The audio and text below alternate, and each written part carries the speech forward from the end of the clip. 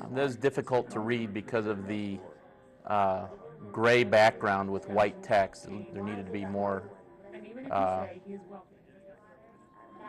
contrast on the screen. It would have been easier.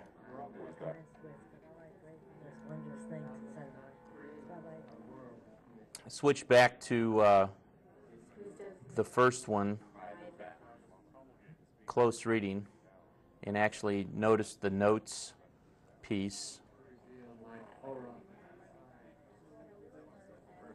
The on-screen instructions say, follow a color to hear a particular section of the exegesis or leave the cursor in one place to let the voice come and go.